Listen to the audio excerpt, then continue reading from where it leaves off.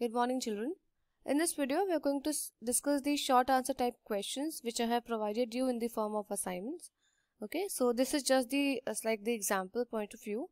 If you have written by your own way that is more preferential. So let's get started. We have already completed uh, till question number 10. So here in this assignment we are going to start with question 11. Okay. The first question is name any three diseases transmitted through vectors fine. Any three diseases that is transmitted through vectors. And you guys are already aware that what are the vectors? These are the animals that carry the diseases from an infected person to the healthier or the normal one. So as you all know there was a lot of vectors. So the most simplest one is the mosquitoes. Malaria is transmitted by mosquitoes rabies is transmitted by mad dogs okay? And elephantiasis is transmitted by mosquitoes again.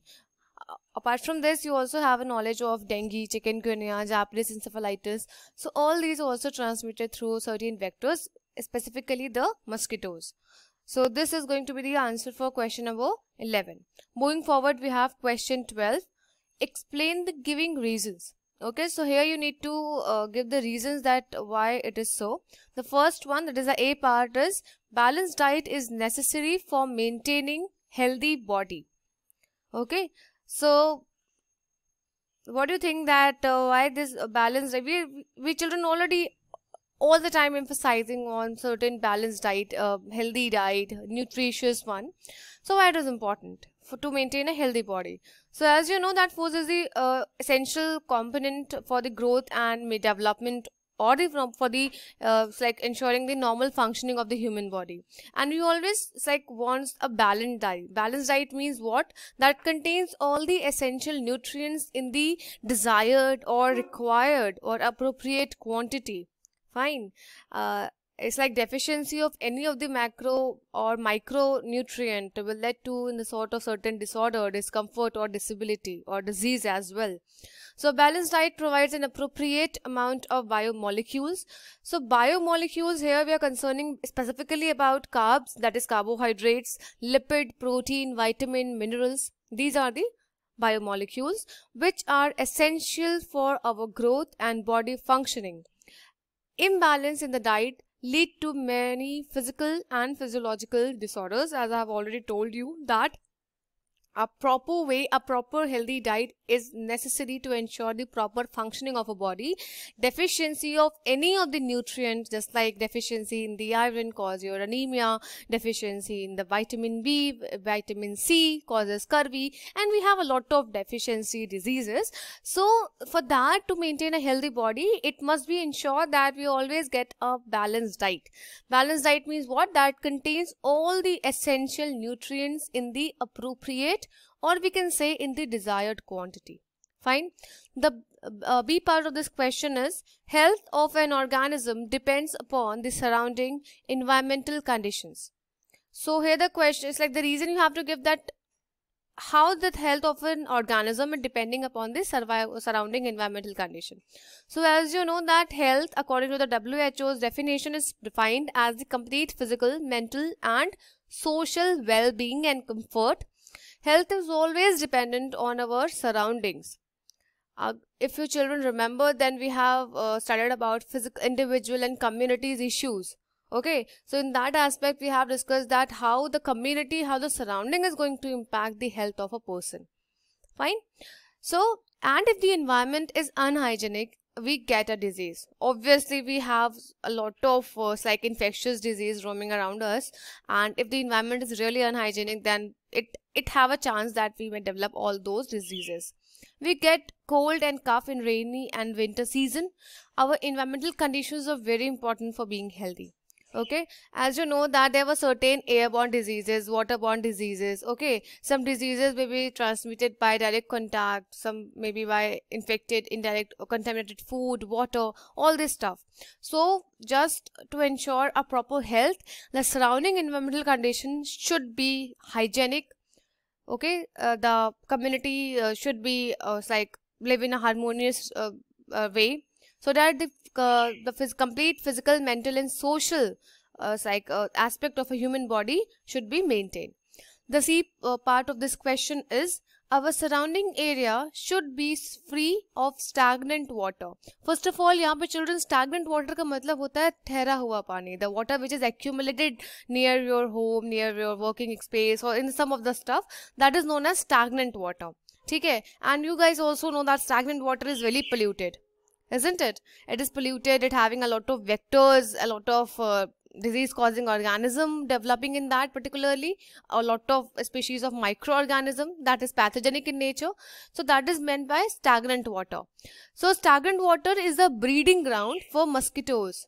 Okay? So as i have told you breeding ground that is the most suitable uh, like environment for mosquitoes to breed Mosquitoes spread many diseases uh, just like malaria, dengue, elephantiasis, chikungunya, etc.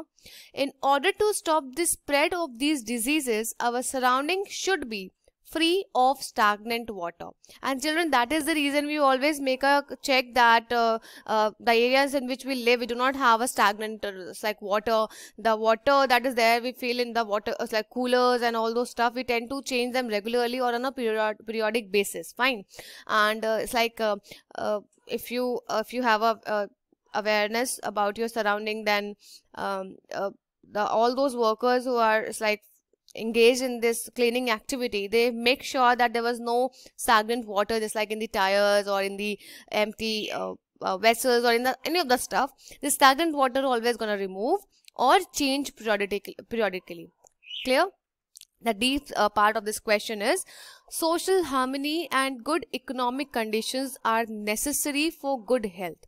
Okay? Social harmony the two key points over here is social harmony and good economic conditions. So children human beings are social organisms. That means what? We can't live in isolation as i've told you in the classes. We live in the different localities and environments. So in order to lead a healthy life we have to keep our environment clean. We need hygienic food and lead a healthy life which depends on our economic conditions Children, as I have told you, a good economic conditions ensures all the basic medicinal facility, all the highly nutritious food, okay? We often encounter diseases in order to get the treatment, we need the money and our economic status should be strong to afford the treatments. So this you can relate that those who are people who do not those who are poor do not have the proper money. They do not have the access of good hospitals. They do not have the access of uh, uh, like costly medicines and all those stuff. So children to ensure a proper health uh, good harmonious relationships in the social context and a good economic condition that is in terms of monetary uh, conditions should be good so that we get the uh, we have the access of all the basic uh, facilities all the medicinal facilities and the basics to the uh, like access to the nutritional food that is required to maintain a healthy body. So moving forward we having question number 13 what is a disease and how many types of disease have you studied? Give example. Fine so here in this question the answer should be that each organ of an organ system has a specific function to do. As you know that heart is having their specific function, kidney having their different functions, lungs have their different function. So each organ in the it's like in the case of organ system, has their specific function to perform. When this functioning changes or disrupts, it leads to a condition known as disease. Fine. So these changes result in some adverse effect on the body's normal functioning and the changes observed are called signs and symptoms of the disease. And children that is the reason that every disease has its specific signs and symptoms. Okay? So this we have already discussed in the class. If we talk about types of diseases then we have acute the first uh, one. It's like these diseases last for a very short period of time and uh, these do not have the severe effect on the body just because they were for a very short period of time. So these are called the acute one. Example is common cold. Coming to the next we have chronic disease. So as we compare chronic with the acute so chronic disease that is something lasts for the longer period of time even sometimes till the even sometimes life as a, as a lifetime disease. And these having very severe effect on the body. Example elephantiasis cancer and all those stuff. Third is infectious disease. So disease which are caused by microorganisms are called infectious disease. These disease can spread from one person to another by vectors or by other means such as food and water. Example is typhoid and dengue, all those stuff. So these uh, diseases which are caused by the microorganisms or the vectors transmitted from a sick person to the healthier one or to the normal person via the uh, uh, to the medium of air contaminated contaminated air or we have we can say contaminated food contaminated water. So these are called known these diseases are known as infectious disease. And the most common example is your typhoid. Or examples in children this is just an example typhoid. Moving forward last the other category we have is the non-infectious one diseases that are not caused by infectious agents. So in the class we have already discussed that what are the infectious agent okay? All the microorganisms that uh, that carries the disease causing pathogens or that act as a vectors are the infectious agents even sometimes mosquitoes okay? So these causes vary. Their causes vary but they are not external causes like microbes that can spread in the community Instead, they are mostly internal, non-infectious causes. So sometimes children what happen that there might be developed certain discomfort or disability in our own organ system or maybe some tissue, some organ is not functioning properly. We have a certain nutritional deficiency. That is something not transmitted from the sick person to the healthier person. Let's take an example just like maybe have a deficiency of vitamin C. So I will be going to suffer by scurvy, not you because in my body there is a deficiency of vitamin C. So all these diseases which are not transmitted from a sick person to the healthier one just because they are caused by the internal causes uh, maybe the malfunctioning of the organs maybe certain nutritional uh, or micro or macronutrients deficiency okay maybe sometimes it caused due to stress and all those stuff so these type of diseases uh, which having all these uh, things is termed as non-infectious diseases. Okay and the example which i have taken over here is the hypertension or high blood pressure. High blood pressure low blood pressure is the something that is not transmitted from a sick person to the healthier one or the person who have this high blood pressure disease or you can say that discomfort is that clear? So these are the four important types. Keep in mind that acute is something for the shorter period. Chronic is for something longer period. Infectious transmitted from a sick person to the healthier one. And non-infectious is not transmitted. The uh, causes may be internal.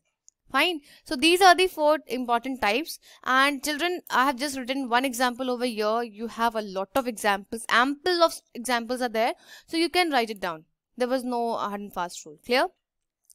So children in this video have just uh, completed till question number 13 okay? Because uh, this time is not going to permit it. So in the next subsequent video uh, we're going to start with question 14 till question 21 okay?